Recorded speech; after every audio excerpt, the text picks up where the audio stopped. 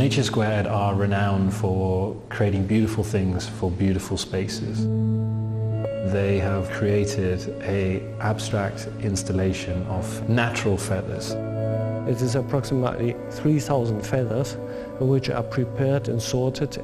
The feathers are all selected in different sizes, cleaned, brushed and prepared and also with small angles for a stitch operation to wove it and it is really a preparation that it is nearly like the skin, like the surface of the bird. The opportunity of the gallery concept itself allows us to work with the content of natural products that never seen before in the automotive world.